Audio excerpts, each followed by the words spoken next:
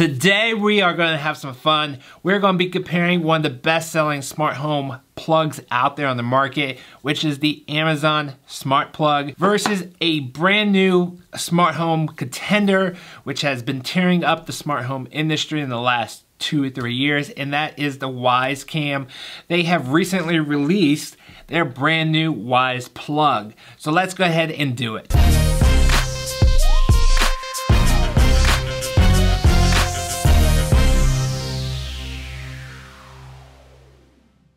Welcome back guys, my name is Eric and you're watching Modern Day Tech, where tech is more than just cool, it is technically awesome. And you become technically awesome yourself by hitting the notification bell. Now in general, they're both really good smart plugs. You're not going to go wrong with either one. Ultimately, it's going to come down to your choice, what matters to you most. Now, I think most people are going to be considering price in this market because Wyze has definitely outdone everyone when you get two plugs for $20. That's $15 plus like $5 shipping. You just can't beat that. There are other plugs from overseas and they're just no names. Yes, you can get those cheaper, but these are name brands and you can trust them a little bit more and you know they're gonna last and they have that customer support also. Whereas the Amazon plug, you get one Amazon plug for $25. And if you're a Prime member, you get free shipping. If not, I'm not quite sure what shipping is anymore because I've been using Prime for so long. So it might be a dollar or two more, I guess, for shipping. I don't know. Another big purchasing factor is what systems it currently works with. So that means what voice assistants and also what other smart home tech currently work with those systems. Now in the future things could change, but with the Wyze plug, it works with Alexa, Google Home, and also IFTTT. Whereas the Alexa plug only works Alexa. It does not work with Google Home and it does not work with IFTTT. And neither systems work with HomeKit.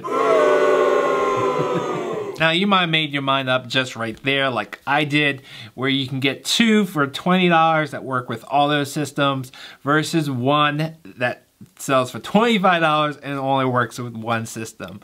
But like to take it a little bit further, let's do some testing and see if there's any other advantages that one might have over the other. Now, as far as their physical characteristics, the Wyze plug is a lot lighter compared to the Amazon plug. It's also a little bit more narrow in both directions. Let me see if I can show you this way. I might do some B-roll and you can see it's a little bit more narrow. But don't worry if you want to have two plugs, you can definitely stack them into a normal American outlet. So you definitely don't have to worry about that with either one of these. They both have buttons on the side so you can manually turn them on and off. Both of these are 120 volts, 15 amps, which works out to about 1800 watts.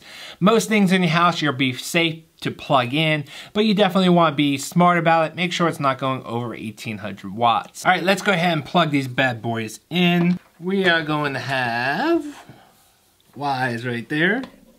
Plug in the Wyze. And we're going to be plugging in the Amazon. Okie dokie. What should be the first test. Now some of these tests might sound lame and honestly they definitely are.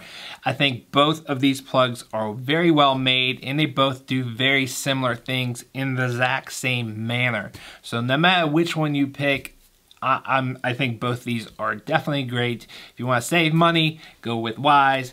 If you want to support Amazon, that's the only positive thing I got here. You can go with the Amazon. Both of them are very uh, good choices. But let's go ahead and jump in one of these tests. Let's do a speed test, if that's important to you. All right, let's do a physical speed test. First up, Amazon. Okay, next up, Wyze. I don't know. I think the Wyze maybe a half a second faster. Let's turn it off. Listen for the click also. And now Amazon.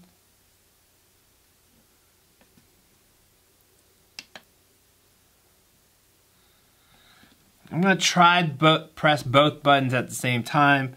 It's really hard because, you know, your fingers are not perfectly aligned, but I'm going to try. Ready?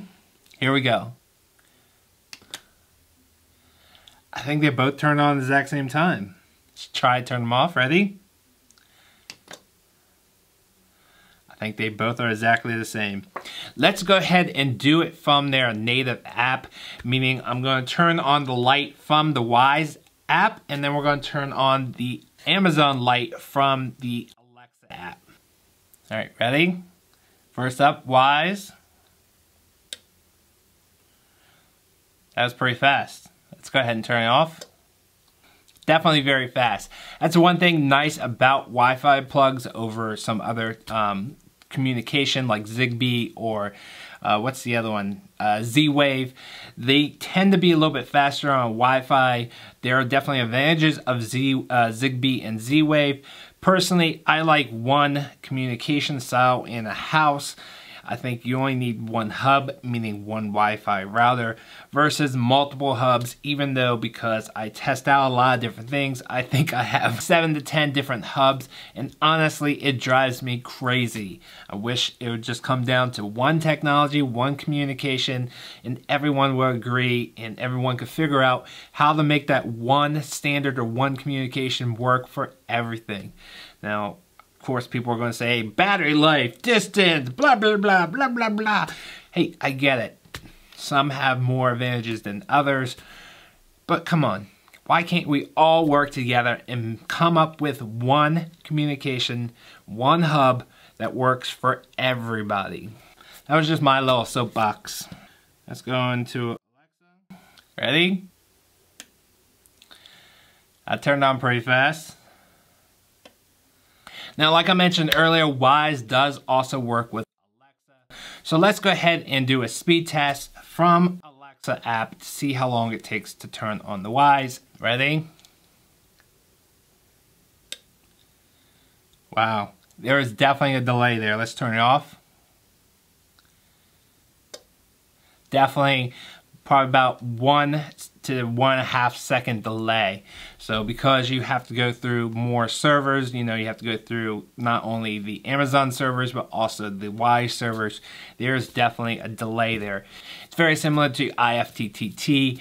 When you have multiple companies and multiple servers that it has to go through, it's definitely going to have that delay. Both these plugs have timers in the app, so if you want to turn on the light for X amount of time, say 60 minutes, you can definitely set that and it will turn off in 60 minutes.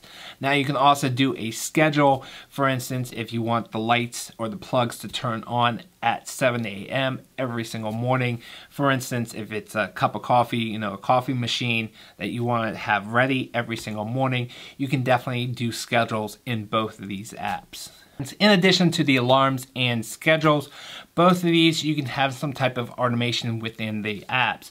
For instance, the Amazon Alexa app, you can have automations or what they call routines. And in Wyze, they call it device triggers. Now, there are some limitations here. For instance, when you have the door, uh, the Wyze Sense, the door triggers, or a window trigger, you can definitely trigger all the Wyze plugs um, through IFTTT. You shouldn't have an issue there. But to get this into, say, a device that's within the Alexa app, Alexa is kind of only a one-way door, unfortunately.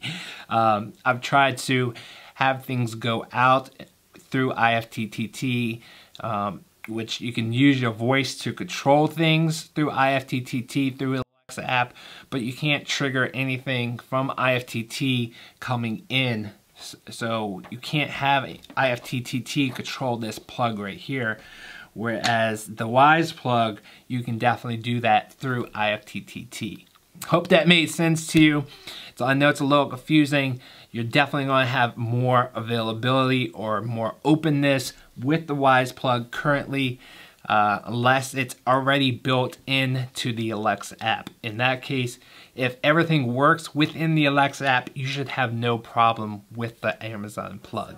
I will be leaving affiliate links down below. We can pick up either one of these plugs. I definitely highly recommend either one of these, but if you do want to save money and want a little bit more options, definitely go for the Wyze. It does help to support this channel so I can put out more content for you guys. If you're brand new here, I hope you would consider subscribing. Press this blue circle right under the Amazon uh, sign right there. And if you want to watch the other Wyze devices, watch this playlist right there. You'll definitely be happy with the Wyze products. Thanks for watching. I will see you guys on the next video.